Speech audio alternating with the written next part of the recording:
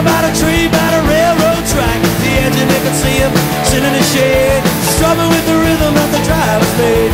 People passing by, they would stop and say, Bob and that St. Louis boy